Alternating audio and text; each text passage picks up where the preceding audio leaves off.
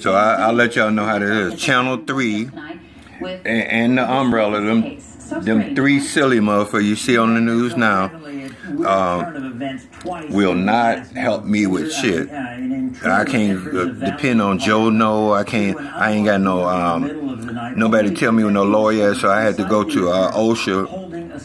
I called them yesterday, uh, the federal one, because it's two, and. Uh, I was supposed to talk to him tomorrow after I drop this paper off, man. Y'all keep on ignoring me. Let's see if that works. I'm finna call the shit out of corporate tomorrow too, because I know it was his idea or y'all's idea. Y'all, y'all, y'all, y'all come up with some shit. But I, I can tell you what, I am not gonna stop. I'm gonna, I'm gonna expose all y'all for what y'all are, because you, you got people coming 2,000, 3,000 miles up here and you fucking them. With little Carter in his arms. I got something for you though, because y'all, y'all can't leave me up here. Shit.